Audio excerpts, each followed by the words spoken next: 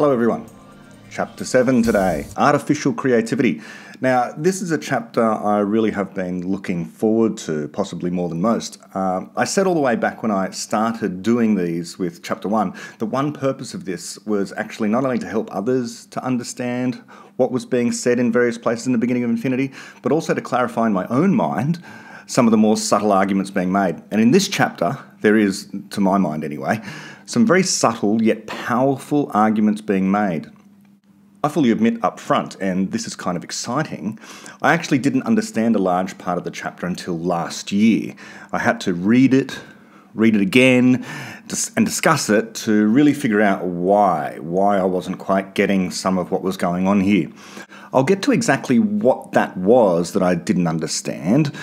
But let me just preface it by saying I thought that we, by we I mean a civilization, a community of scientists, myself personally, I thought we understood evolution by natural selection. I mean, I thought there was this odd open question here or there, but I didn't think that in biology that evolution by natural selection, you know, neo-Darwinism, was anything unlike general relativity. I thought they were, you know, as general relativity was to physics, evolution by natural selection was to biology. But no, this is quite wrong. This is wrong for philosophical reasons, but it's also wrong for the reason that we don't understand evolution by natural selection to quite the degree that we understand general relativity. So, and there's a way to know that we don't understand one compared to the other. There's actually a, a rule, and, and David articulates the rule in this very chapter. Yet another one of his discoveries. Um, there's a way of distinguishing between things we truly do have a good grasp of, like how planetary orbits work, that's the theory of general relativity, and how evolution by natural selection works, uh, that's neo Darwinism. Uh, there's a difference to how well we understand these two theories. It's not the same. So, again, the way that we know that we understand one really well and the way that we know we don't understand one really well, there's a, there's a good way of dividing or separating these two kinds of understanding, which David's going to present in this chapter.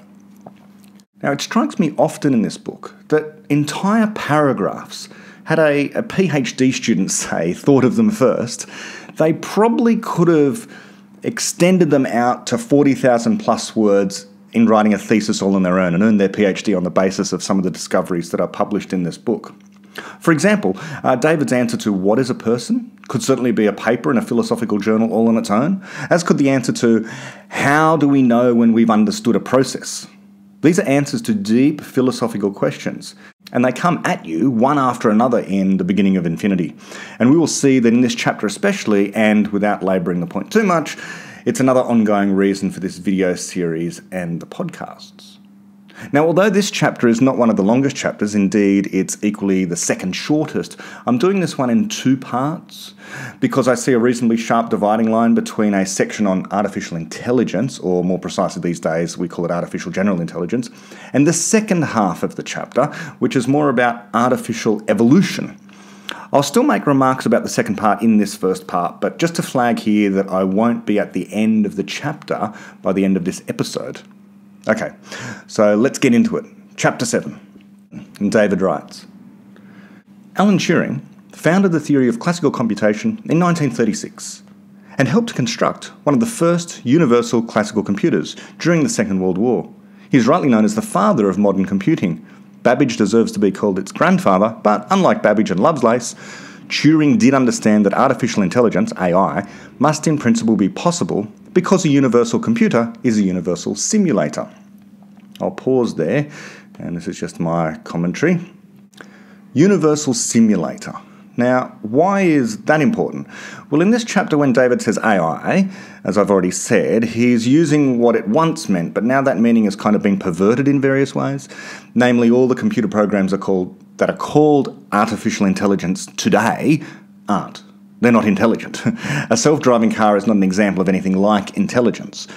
What it's an example of is some very fancy, very specific, highly specific programming running on extremely fast and sensitive hardware. But it's not an explanation producing machine, as we are. That's why we're intelligent. We're kind of ahead of ourselves here, but uh, the point is, and David has written about this elsewhere, if you simply do a Google search of David Deutsch Aeon magazine, that's A E O N, and the title of the article we're looking for is How Close Are We to Creating Artificial Intelligence? then you'll find something of an update on this. He wrote that article in 2012, so four years after the publication of The Beginning of Infinity. And in it, David explains how AI has become kind of a redundant term since we now use AGI, the G standing for General, Artificial General Intelligence, to differentiate machines that can think in ways like we can.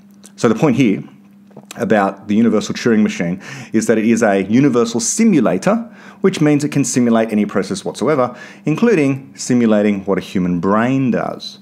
And in that case, the simulation would be that thing. A simulated mind is a mind because they are both abstract things. Now, this is quite different to, let's say, simulating a bullet in a computer game. A bullet has a very real physical presence and a lack of abstraction of the first kind in stark contrast to a mind. A simulated bullet won't kill you in the real world, but minds are already abstract things running on physical brains, so simulating a mind on a silicon brain, let's say, is to create an actual mind. Okay, back to the book now. And David writes In 1950, in a paper entitled Computing Machinery and Intelligence, he, Turing, famously addressed the question Can a machine think? Not only did he Def- not only did he defend the proposition that it can on the grounds of universality, he also proposed a test for whether a program had achieved it. Now known as the Turing test, it is simply that a suitable human judge will be unable to tell whether a program is human or not. In that paper and subsequently, Turing sketched protocols for carrying out his test. For instance, he suggested that both the program and a genuine human should separately interact with the judge via some purely textual medium, such as a teleprinter, so that only the thinking abilities of the candidates would be tested, not their appearance. Turing's test and his arguments set many researchers thinking not only about whether he was right, but also about how to pass the test. Programs began to be written with the intention of investigating what might be involved in passing it. In 1964, the computer scientist Joseph Weizenbaum wrote a program called ELIZA, designed to imitate a psychotherapist. He deemed psychotherapists to be an especially easy type of human to imitate because the program could then give opaque answers about itself and only ask questions based on the user's own questions and statements. It was a remarkably simple program. Nowadays, such programs are popular projects for students of programming because they are fun and easy to write. A typical one has two basic strategies. First, it scans the input for certain keywords and grammatical forms. If this is successful, it replies based on a template, filling in the blanks using words in the input. For instance, given the input I hate my job, the program might recognize the grammar of the sentence involving a possessive pronoun my and might also recognize hate as a keyword from a built in list such as love, hate, like, dislike, want, in which case it could choose a suitable template and reply. It might reply, what do you most like about your job? If it cannot pass the input to that extent, it asks a question of its own, choosing randomly from a stock pattern, which may or may not depend on the input sentence. For instance, if asked, How does a television work? it might reply, What is so interesting about how does a television work? Or it might ask, Why does that interest you? Another strategy used by recent internet based versions of ELIZA is to build up a database of previous conversations, enabling a program to repeat phrases that other users have typed in again choosing them according to keywords found in the current user's input. Now, I remember and I'll just pause there. I remember in high school myself writing a program that was basically a personality evaluator. This was a silly thing back when I was sort of a teenager, and the user would type in, you know, would ask questions like, "What is your age? What is your gender? Uh, what do you like doing on the weekend?" Um, out of a, multiple choice list kind of thing, what would you prefer? And at the end, it would spit back at you um, what your personality is like. And people were unaccountably impressed by how well it was able to assess their personality. Of course, um, this is kind of true of all psych- psychological personality tests. They basically do the same thing. Um, I was doing them when I was a teenager, but people are being paid lots of money to do these sort of things today, as far as I can tell. Basically, they're, they're a kind of chatbot. It's, it's a program telling you something about yourself, uh, just feeding back stock responses. There's nothing intelligent behind it. Uh, back to the book, uh, David writes Weizenbaum was shocked that many people using ELIZA were fooled by it. So it had passed the Turing test, at least in its most naive version. Moreover, even after people had been told it was not a genuine AI, they would sometimes continue to have long conversations with it about their personal problems, exactly as though they believed that it understood them. Weizenbaum wrote a book Computer Power and Human Reason, 1976, warning of the dangers of anthropomorphism when computers seem to exhibit human like functionality. However, anthropomorphism is not the main type of overconfidence that has beset the field of AI.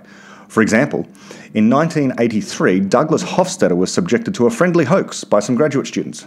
They convinced him that they had obtained access to a government run AI program and invited him to apply the Turing test to it. In reality, one of the students was at the other end of the line, imitating an ELIZA program. As Hofstadter relates in his book Metamagical Themas, the student was from the outset displaying an implausible degree of understanding of Hofstadter's questions. Now, I won't read the entire anecdote here about what happened to Douglas Hofstadter with the prank that was um, played on him, but suffice it to say, as he himself says, um,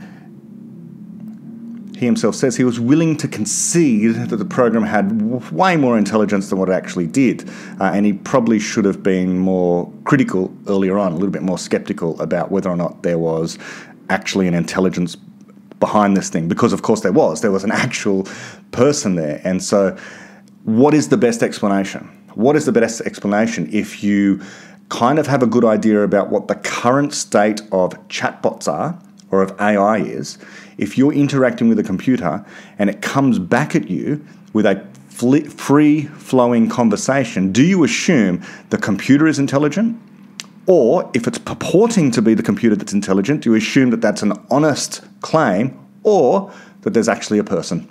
That, namely a human person, sorry, there's a human person behind all that, rather than just a, a genuine artificial general intelligence. Well, at the moment, we should always presume that there's some prank being played. But there's a way to know whether or not there isn't a prank being played, which we will come to soon. So I'm, I'm skipping a bit here, and then David writes Programs written today, a further 26 years later, are still no better at the task of seeming to think than ELIZA was. They are now known as chatbots, and their main application is still amusement both directly and in computer games.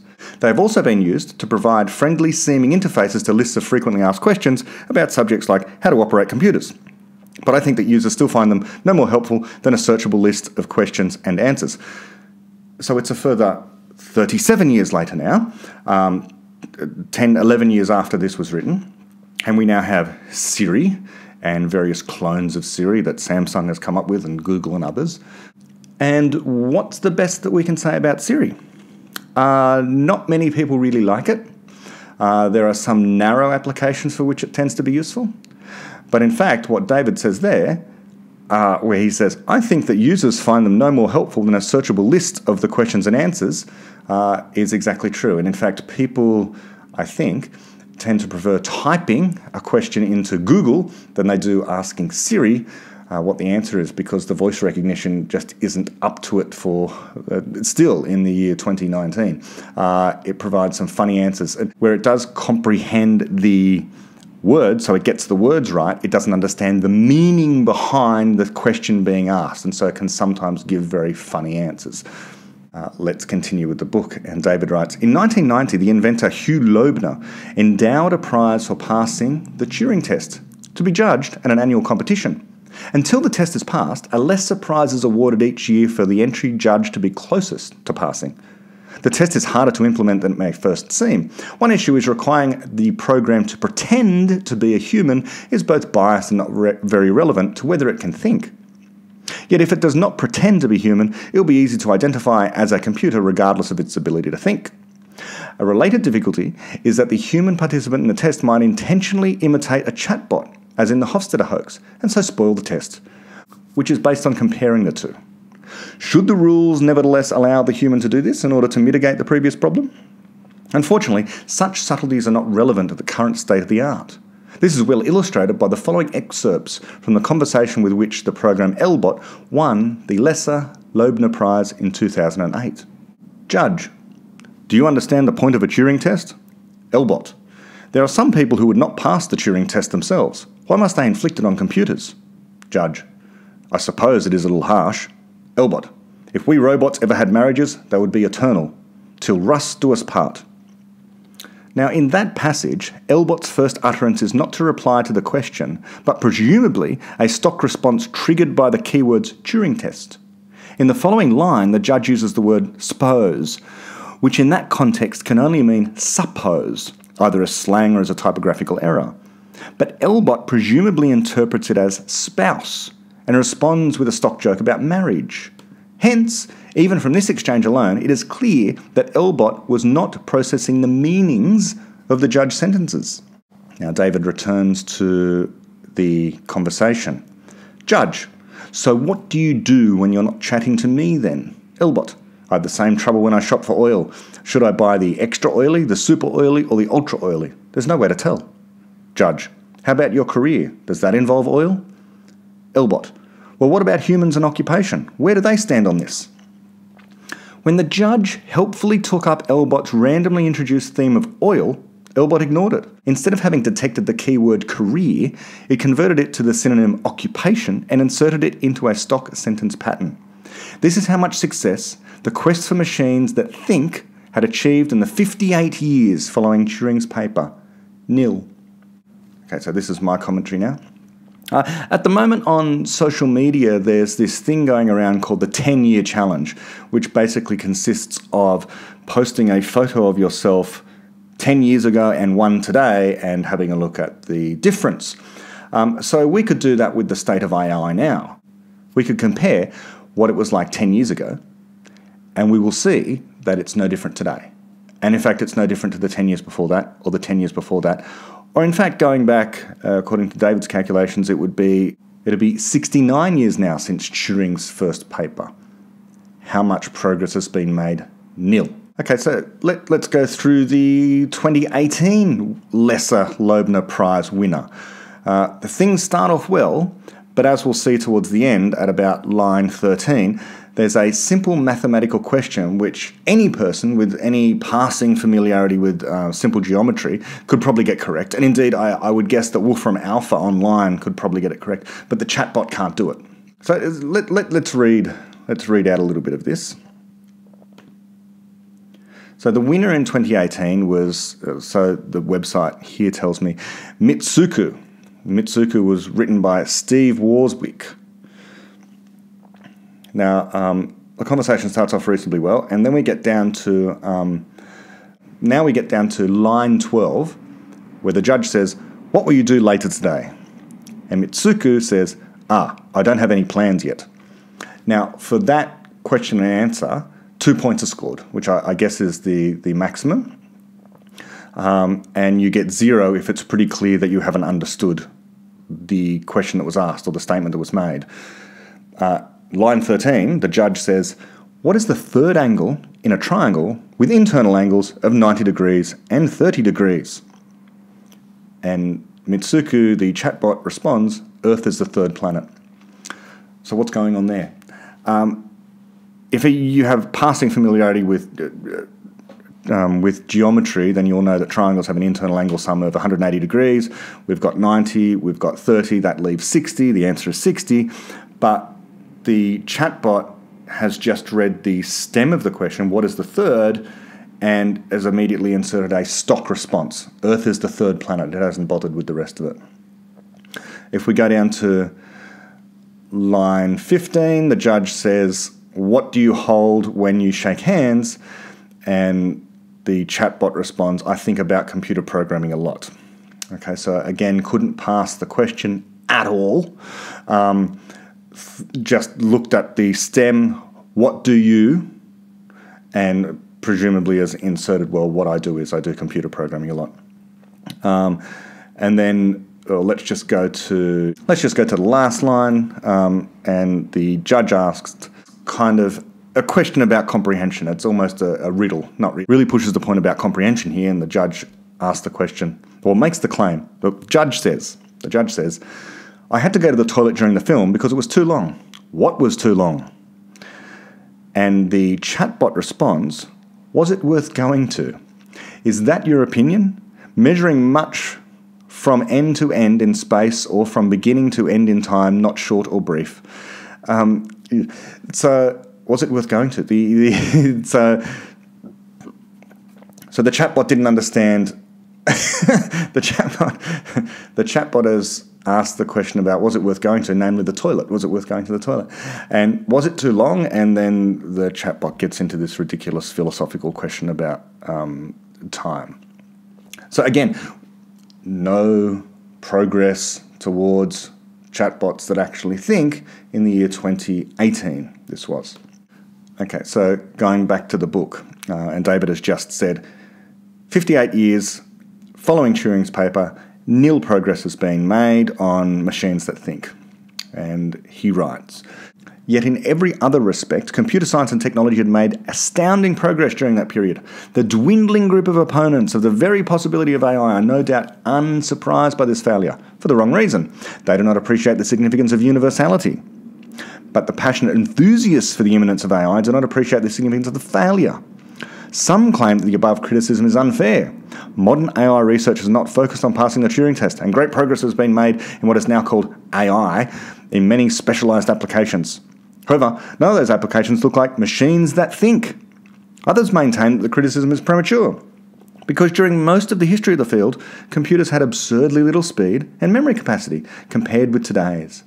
Hence, they continue to expect a breakthrough in the next few years. This will not do either. It is not as though someone has written a chatbot that could pass the Turing test, but would currently take a year to compute each reply. People would gladly wait. And in any case, if anyone knew how to write such a program, there would be no need to wait, for reasons that I shall get to shortly. In his 1950 paper, Turing estimated that to pass his test, an AI program together with all of its data would require no more than about 100 megabytes of memory, that the computer would need to be no faster than computers were at the time, about 10,000 operations per second, and that by the year 2000, one will be able to speak of machines thinking without expecting to be contradicted.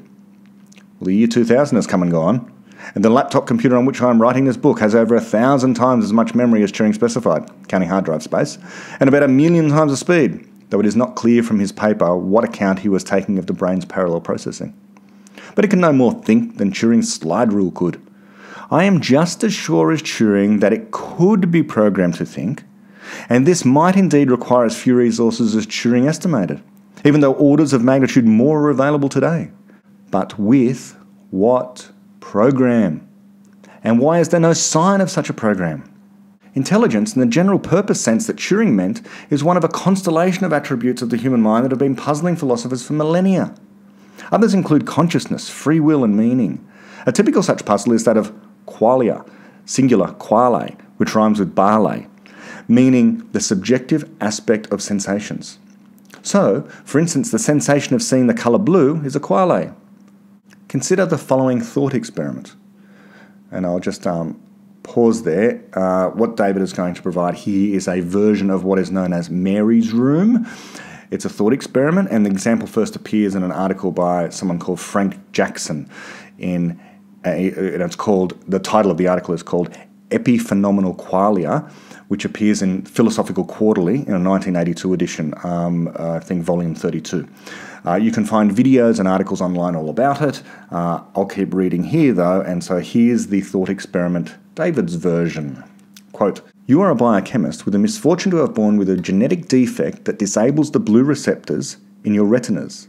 Consequently, you have a form of colour blindness, in which you are able to see only red and green, and mixtures of the two, such as yellow. But anything purely blue also looks to you like one of those mixtures. Then you discover a cure that will cause your blue receptors to start working. Before administering the cure to yourself, you can confidently make certain predictions about what will happen if it works. One of them is that when you hold up a blue card as a test, you will see a colour that you have never seen before. You can predict that you will call it blue because you already know what the colour of the card is called and can already check which colour it is with a spectrophotometer. You can also predict that when you first see a clear daytime sky after being cured, you will experience a similar quale to that of seeing the blue card. But there is one thing that neither you nor anyone else could predict about the outcome of this experiment, and that is what blue will look like. Qualia are currently neither describable nor predictable, a unique property that should make them deeply problematic to anyone with a scientific worldview though in the event it seems to be mainly philosophers who worry about it. I consider this exciting evidence that there is a fundamental discovery to be made which will integrate things like qualia into our other knowledge, Daniel Dennett draws the opposite conclusion, namely that qualia do not exist. His claim is not, strictly speaking, that they are an illusion, for an illusion of a quale would be that quale. It is that we have a mistaken belief. Our introspection, which is an inspection of memories of our experiences, including memories dating back only a fraction of a second, has evolved to report that we have experienced qualia. But those are false memories. One of Dennett's books defending this theory is called Consciousness Explained. Other philosophers have wryly remarked that consciousness denied would be a more accurate name. I agree, because although any true explanation of qualia will have to meet the challenge of Dennett's criticisms of the common sense theory that they exist, simply to deny their existence is a bad explanation. Anything at all could be denied by that method. If it is true, it will have to be substantiated by a good explanation of how and why those mistaken beliefs seem fundamentally different from other false beliefs, such as that the earth is at rest beneath our feet. But that looks to me just like the original problem of qualia again. We seem to have them it seems impossible to describe what they seem to be. That's an amazing line. Uh, so let's just read it again. In terms of qualia, we seem to have them. It seems impossible to describe what they seem to be. And he continues One day we shall. Problems are soluble. So I'll pause there. So, qualia are a fundamental mystery. Why do certain why do sensations have a subjective aspect to them at all? Um, we don't understand it because if we could understand it, well, we're going to get to a way in which we know whether or not we understand something, but we do not understand qualia. Um, we don't have a good, hard to vary explanation of what they are. Let me continue with the book. By the way, some abilities of humans that are commonly included in that constellation associated with general purpose intelligence do not belong in it. One of them is self awareness, as evidenced by such tests as recognizing oneself in a mirror. Some people are unaccountably impressed when various animals are shown to have that ability, but there is nothing mysterious about it. A simple pattern recognition program will confer it on a computer. I'll pause there. Um, yes, uh, and as we already are very familiar with in the year 2019, uh, phones can recognize faces. Uh, the same technology that allows an iPhone to recognize your face um, or uh, any of the, the facial recognition software that, that that's out there now. There's heaps of it. Um, uh, you go through an airport. Um, I know I come through immigration, and the machine recognizes my face and compares it to my passport and lets me through. Um, it would be very easy to program an iPhone to recognize itself. so we are very good at that now. Um, computers can recognize themselves that does not mean they have some sort of intelligence. Okay, the uh, yeah, the iPhone is not self-aware just because it can recognize its own shape.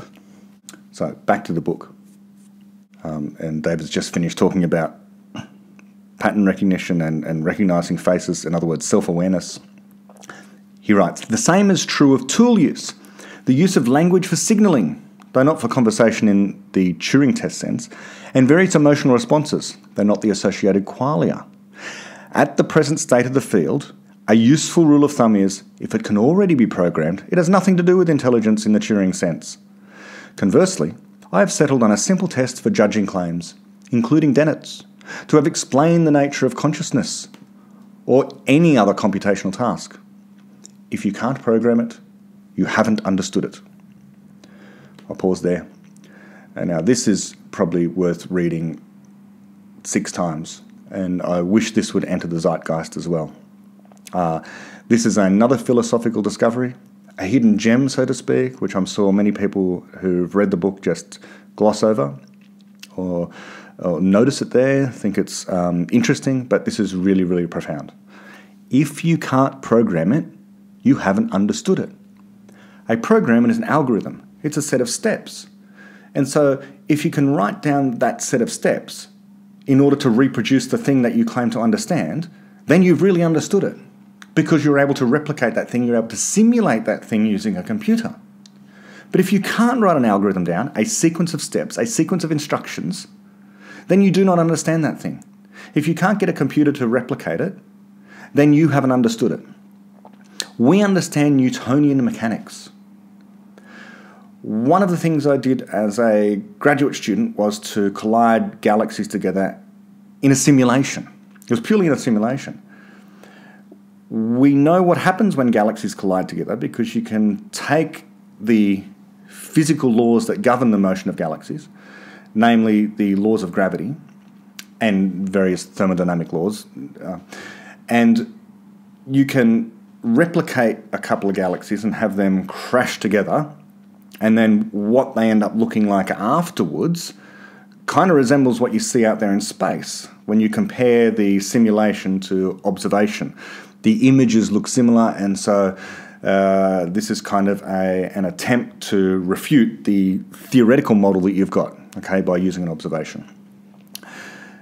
We understand how galaxy collisions work. We understand how orbits work when planets go around stars because we know what the laws of physics are, and you can program a computer to, to, rep, to simulate what's going on.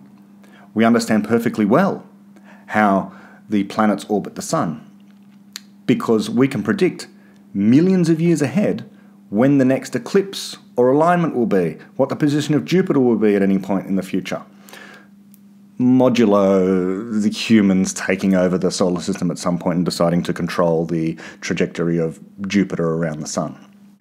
But I hope you get what I'm saying here. Um, physics is kind of this area where we can definitely program our computers in order to simulate various physical systems. But when people claim that they have an understanding of something like consciousness, we can test that claim in the same way we can test whether or not they have an understanding of a physical process, of any other physical process, in physics namely, by programming a computer with their, with their theory. I've had people over the last few years say to me, I understand consciousness and um, I've got a theory of consciousness. Great. Can you write a program for it so that the computer can be conscious? And then can we test that? No. so far, no. No one's been able to do that.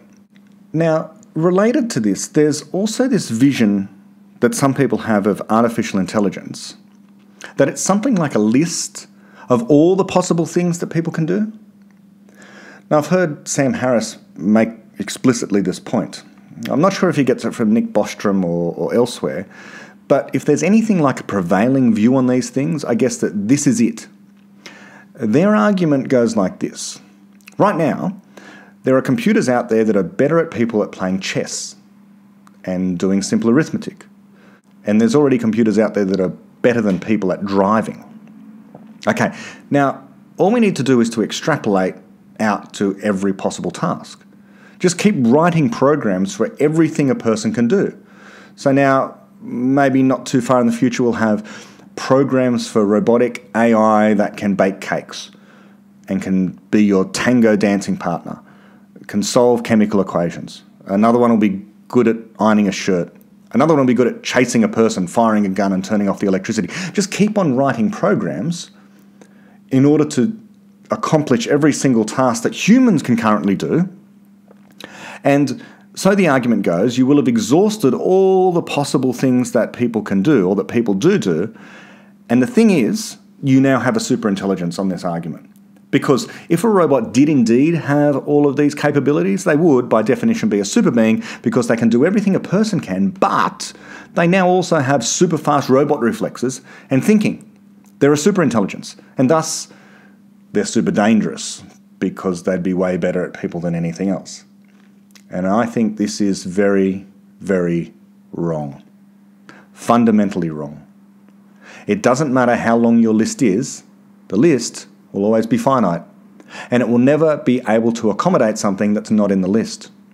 And so, if, let's say, such an AI became an evil AI, all you would need to do is to look up the program and then to give it a task or to attempt to do something to it that's not in that list. And you could do that because you are a creative thinker.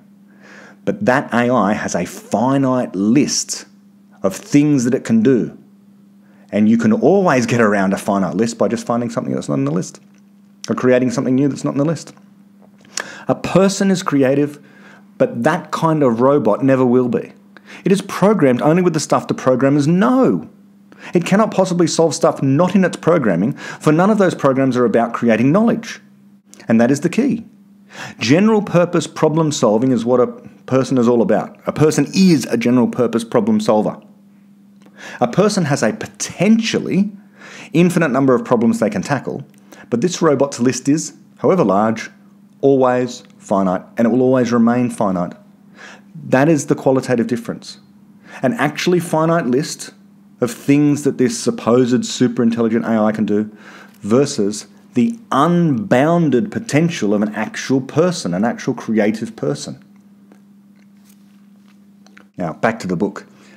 Turing invented his test in the hope of bypassing all those philosophical problems. In other words, he hoped that the functionality could be achieved before it was explained. Unfortunately, it is very rare for practical solutions to fundamental problems to be discovered without any explanation of why they work. I'll just pause there. So, this brings us to one of the deep themes of the beginning of infinity. It is very rare, as he has said just there, to ever have a solution to a problem and you don't know why it's a solution to a problem. Now, it perhaps used to be or seemed to be common in the past, in medicine, for example. There used to be treatments for things that no one knew why they worked. And that still happens today, but it's the rare exception to the rule. Now, it used to be very common in the past because we didn't understand anything in the past. there was very little that we understood. But the more and more that we understand, the less and less we have these solutions for which we have no explanation as to why they work. So I don't know. Think of any um, treatment. Usually, um, you know, some, some of these strange things that come out of the Amazon rainforest that happen to work to cure headaches or to treat some other kind of disease. Okay, that's the rare exception these days. Certainly today, many, many medicines are derived from some kind of extract from an, a, a, a plant, but we usually know what the chemical is, what the active ingredient is today. Rarely we don't. And that's just in medicine. I mean, I, I've never heard of anything in physics where we've got a solution to a problem for which we don't have an explanation. And that's par excellence the reason for physics is to try and provide. Well, we know this from the beginning and ending the fabric of reality. That's the reason for physics. Okay, so back to the book. David writes, Nevertheless, rather like empiricism, which it resembles, the idea of the Turing test has played a valuable role. It has provided a focus for explaining the significance of universality and for criticising the ancient anthropocentric assumptions that would rule out the possibility of AI. Turing himself systematically refuted all the classic objections in that seminal paper, and some absurd ones for good measure. But his test is rooted in the empiricist mistake of seeking a purely behavioural criterion. It requires the judge to come to a conclusion without any explanation of how the candidate AI is supposed to work. But in reality, judging whether something is a genuine AI will always depend on explanations of how it works. This is because the task of the judge in a Turing test has a similar logic to that faced by Paley when walking across his heath and finding a stone, a watch, or a living organism. It is to explain how the observable features in the object came about.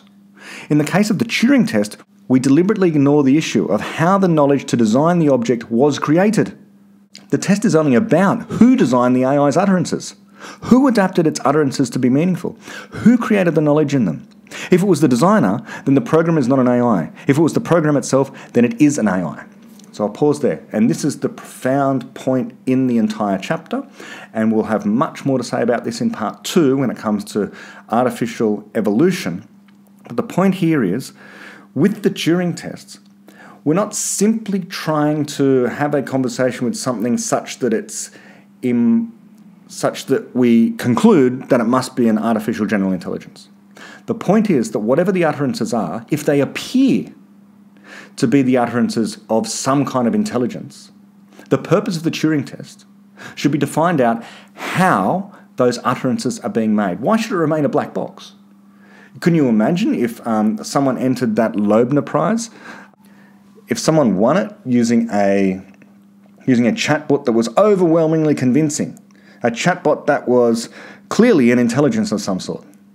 Do we give, do we award the prize, the Loebner Prize, the number one pass the Turing test prize to that program, or to the writer of that program?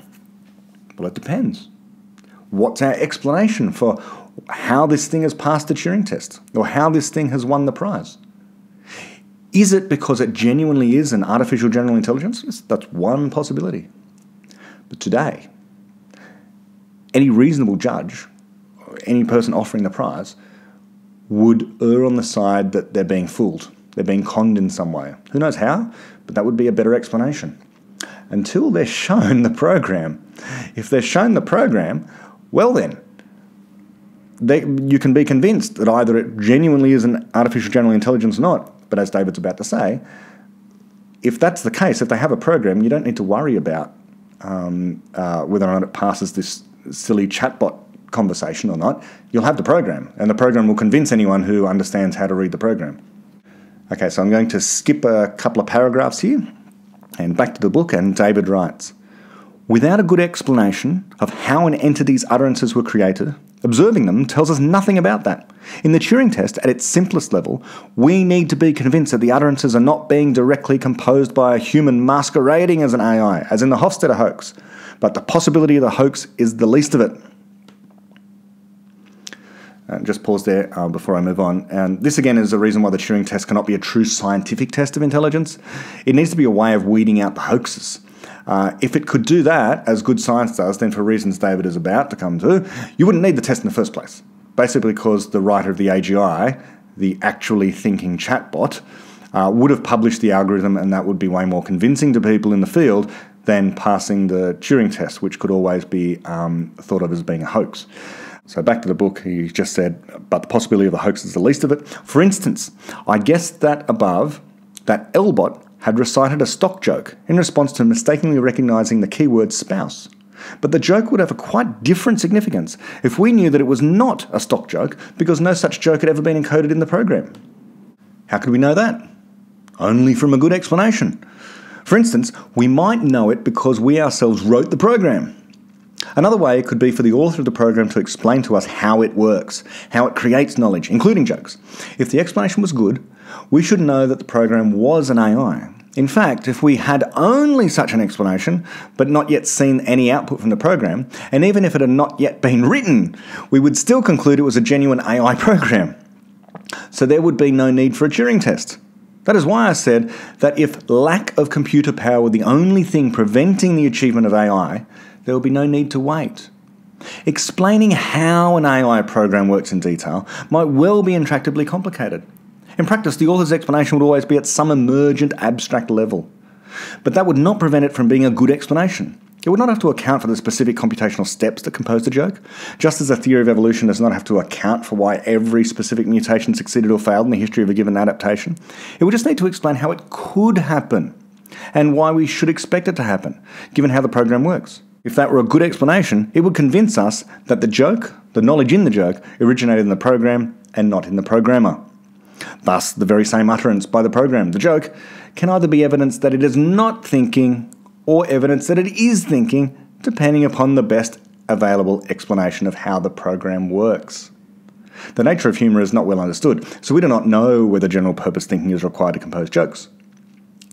So it is conceivable that, despite the wide range of subject matter about which, about which one can joke, there are hidden connections that reduce all joke making to a single narrow function. In that case, there could one day be general purpose joke making machines that are not people. Just as there just as today, there are general purpose chess playing machines that are not people. It sounds implausible, but since we have no good explanation ruling it out, we could not rely on joke making just as our only way of judging an AI. What we could do, though, is have a conversation ranging over a diverse range of topics and pay attention to whether the program's utterances were not adapted in their meanings to the various purposes that came up. If the program really is thinking, then it is in the course of such a conversation it will explain itself in one of countless unpredictable ways, just as you or I would. Just pause there. Um, there it is. There's the key. Um, the AI, the AGI program, the Artificial General Intelligence Program. Know if it's a genuine artificial intelligence program? It would need to explain itself, which n- means it would need to create some knowledge. That's the key. Back to the book. There is a deeper issue too. AI abilities must have some sort of universality. Special purpose thinking would not count as thinking in the sense Turing intended. My guess is that every AI is a person, a general purpose explainer and just pausing there, this is key. Now, David does say, my guess is, but really, what better explanation do we have? This link between knowledge and its creation, and people and their inherent creativity, thus linking people and their moral significance to epistemology, is almost another book worthy statement. There's so much to unpack. I'll do so in a moment after I read just a little more here, and, um, and I get what's being said there about there might be general purpose joke making programs that are not people.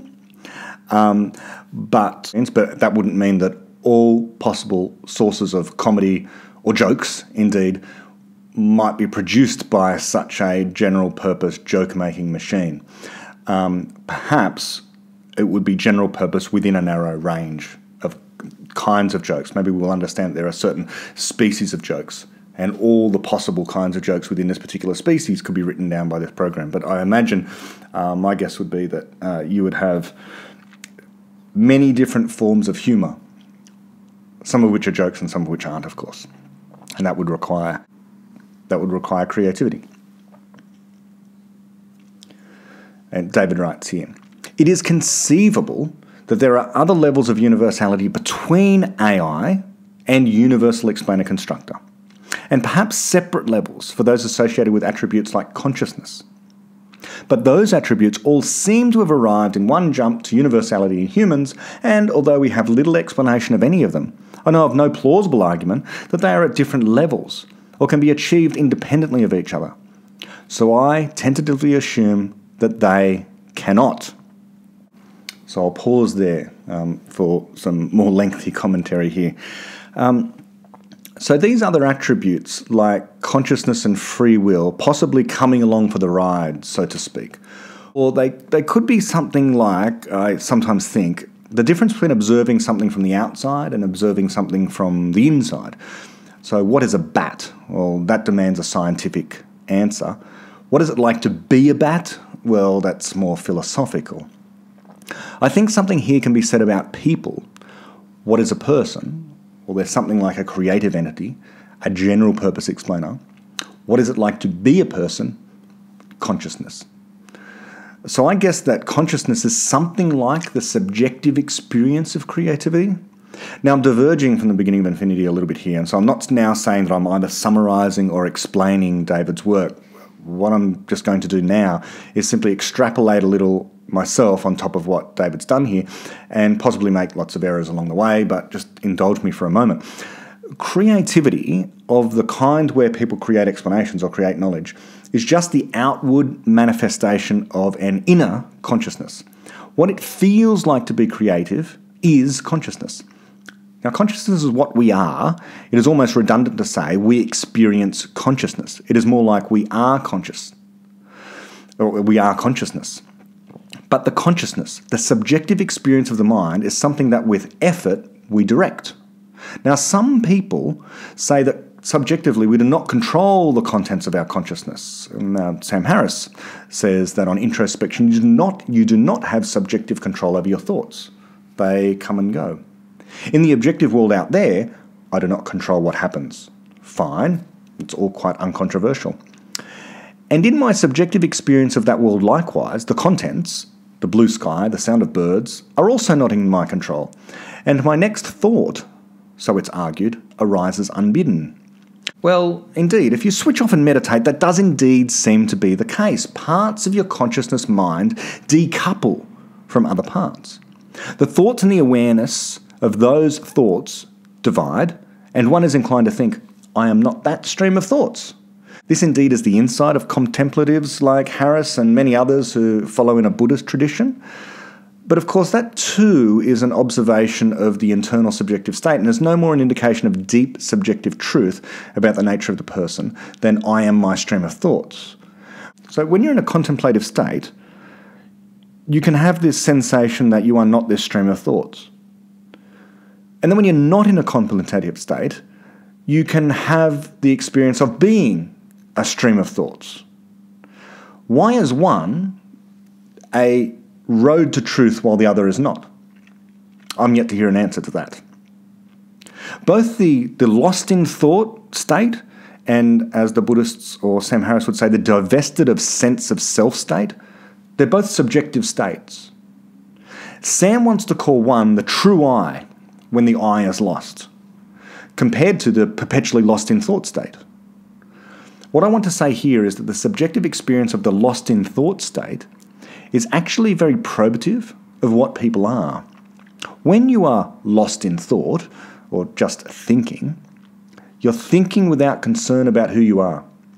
You're in the flow state of thinking, one thought, and then reasoning and concluding what comes next. Now, I do indeed feel capable of deciding. Thinking and deciding, explaining. I feel actively involved in all choices. I feel a subjective sense of free will. This may seem to be too clever by half, but I want to say that when paying attention to how you think while lost in thought, you can see options arising, being criticised, and either surviving the process or not. And this is key. You can slow things down or not, and notice how critical you are being or not. Now, at this point, the free will denier will say, Ah, but you did not choose to have the thought, should I, should I slow down and think more carefully now or not? That thought wasn't given to you. Okay, fine. I do not control all of my thoughts, but the choice to slow down or not is mine. Sometimes I do and sometimes I don't. And not controlling all of the contents of consciousness does not mean does not mean I do not control some. And my conception of free will is only that I control some and not all. It is as if to say, because the state cannot control all aspects of our lives, it controls none, and hence does not exist. That would be absurd. The all or nothing conception of free will here is misguided. So, free will is that sense that we choose to create one explanation rather than another. We attempt to create. When a person encounters a problem, they seek to find solutions. Seek implies the solutions are out there in some sense. But this is rare. Usually they must come from within. They must be created by the mind, the creative mind of the individual. Outwardly, we see solutions generated by a person. Inwardly, we experience the phenomena of consciousness as we encounter the world and construct inside our minds a representation of the outside reality. This act of construction is a creative one. We create that representation, and when there is a problem, we attempt to solve it. Or we can ignore the problem. These are our choices. There are a literally infinite number of problems we might attempt to solve, but, and this is the key, we choose only some to work on. And this is the exercise of free will. If you have a major life decision, should I enter into university and study finance or physics? If you think on this carefully over many months, you might think, my mathematical skills are reasonably good. I could do either. I like to work with numbers and constrain things quantitatively. Finance seems to be interesting. I could be wealthy and do physics on the side. But then directly working on fundamental problems might be more rewarding than simply earning a high wage. I think and create options, but maybe I shouldn't worry. Maybe I shouldn't care what I do and just not think about it at all. The choice to think hard on this or not, to decide which knowledge to create, the knowledge about what to do with my life or not, is something I am free to choose to do or not. Free will is the freedom for me to get a good sense of my preferences and to act upon them. That is to say, choose. But to know what my preferences truly are, let's say finance or physics, I need to carefully deliberate, solve that problem, create that knowledge. Outwardly, eventually, someone will notice me enroll in physics and finance as a double major. But inwardly, only I know that I felt many different things. Emotions like excitement or confusion and the thrill at making a new insight. It was all me, or largely me, that contemplated this problem for hours on end. I chose this interesting solution, the double degree, as it helped me satisfy both desires. I was free to do otherwise, to not think about it at all, or to choose one over the other. But no, I chose to do what I did. I did that, not the laws of physics. Inwardly, it was a conscious sensation of free will, but outwardly, it was a choice made to create knowledge in that area. These things are all facets of the one same phenomenon what it means to be a human and explain the world. So, these many different attributes that David speaks about, and he guesses that they seem to have all come at once in a jump to universality, and that maybe they are all aspects of the same thing. This is the sense that I get as well. I don't think we have good, hard to vary explanations of any of these things free will, creativity, consciousness, meaning, so on. But the best that we do is what's provided here in this chapter, I would suggest. Let's return to it. Let me continue reading. In any case, we should expect AI to be achieved in a jump to universality, starting from something much less powerful. In contrast, the ability to imitate a human imperfectly or in specialized functions is not a form of universality. It can exist in degrees. Hence, even if chatbots did at some point start becoming much better at imitating humans, or fooling humans, or at fooling humans, that would still not be a path to AI. Becoming better at pretending to think is not the same as coming closer to being able to think. There is a philosophy whose basic tenet is that those are the same. It's called behaviorism, which is instrumentalism applied to psychology. It is a doctrine that psychology can only, or should only, be the science of behaviour, not of minds. That it can only measure and predict relationships between people's external circumstances, stimuli, stimuli, and their observed behaviour, responses. The latter is, unfortunately, exactly how the Turing test asked the judge to regard a candidate AI. Hence, it encouraged the attitude that if a program could fake AI well enough, it would have achieved it. But ultimately, a non AI program cannot fake AI. The path to AI cannot be through ever better tricks for making chatbots more convincing. A behaviourist would no doubt ask, what exactly is the difference between giving a chatbot a very rich repertoire of tricks, templates, and databases and giving it AI abilities? What is an AI program other than a collection of such tricks? And I'll pause there. In fact, I'll um, stop the reading there and move on to episode two. But just a remark on that last bit uh, the, the bag of tricks idea, AI being a collection of such tricks, it's something that I referenced earlier that AI is essentially just a collection of programs, each of which can do one of the things that people can, and together can do all the things that people can. In some, some distant future, we'll have an AI that can do all of the, it will have the comprehensive bag of human tricks. It can do all the things that a human can, except for one, the key one being it won't be able to create explanations because if it's able to do that, it doesn't need any of the others, as it turns out. Um, let me just explain a little bit more here. Um, so um, I've written down a few notes here. Let me just read through those. So this idea that AI is essentially just a collection of programs, each of which can do one of the things people can, and together can do all the things that people can do, except they're silicon based robots, so they can do them much faster and with fewer errors. The conclusion follows almost unavoidably. Therefore, they, the silicon based robots, will be better than humans, more morally valuable superhumans. But that's false. They will never create anything new because not one of their programs can do what a person can do, namely create. Or rather, if any of the programs could create something completely new, then none of the other ones would be needed. Because that single program is a knowledge creating program. And so you wouldn't have to preload it with all these other things. And you could preload it with all these other things. But what would be the point? Because once the once you load it with the artificial general intelligence program, it then is a person. And if you try and force any other kind of learning onto it, well, that's coercion. That's saying, here's what you need to learn. But what if you loaded all those others and then you loaded the AGI program? Same problem. Same problem. Giving the AGI all of the knowledge that perhaps it didn't want to know. Perhaps it doesn't want to be the best baker in the world. The thing about people is that people, humans, and AGI, they're universal explainers. And David has answered the question what is a person? Few have noticed. As recently as yesterday, I was listening to Sam Harris's podcast, the third time I've mentioned Sam in uh, this episode. Uh, I do so, just by the way, because um, I think he's got the best podcast, and I think he captures very well what the uh, public sentiment on many deep philosophical and scientific issues are at the moment.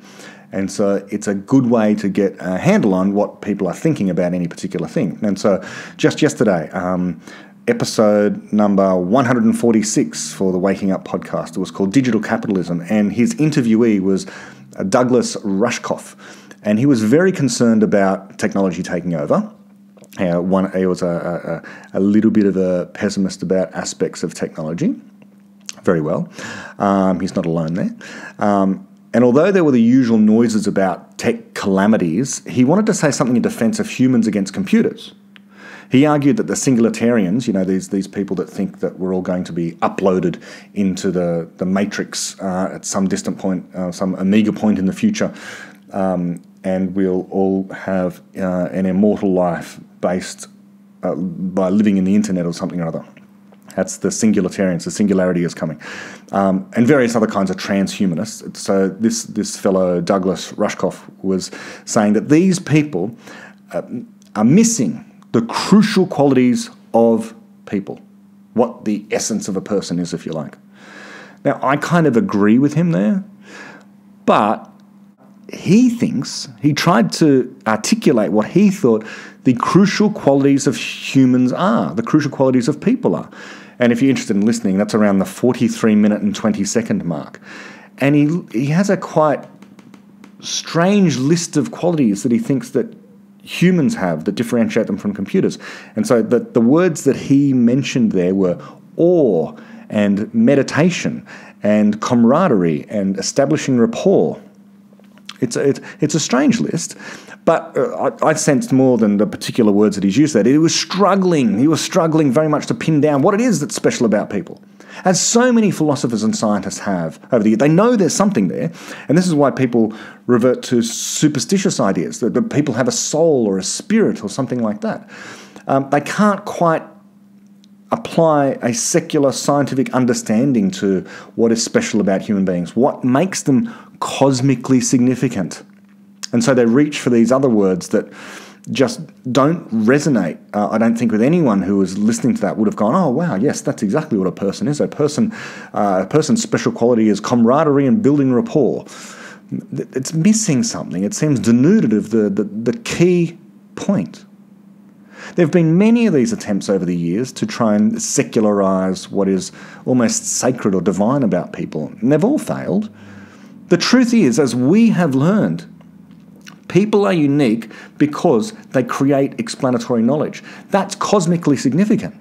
It's cosmically significant in a way that's greater than spirit or soul, than what the religious or supernatural people say. It is saying that if we persevere in solving problems, in doing what we are as people, in creating, we will change not only the entire planet, we will change the galaxy and the universe.